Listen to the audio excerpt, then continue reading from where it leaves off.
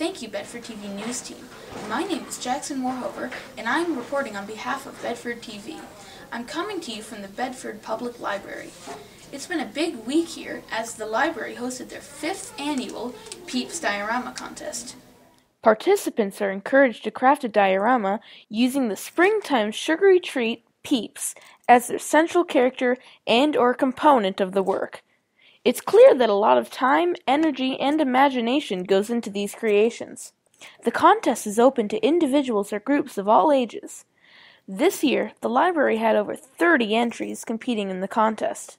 Judging for the contest occurred on Wednesday the 25th, and from what we've learned, the most peep-tastic scene has won.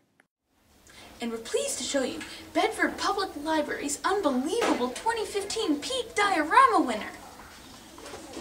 Joe? Hmm? You ate the winner? Mm hmm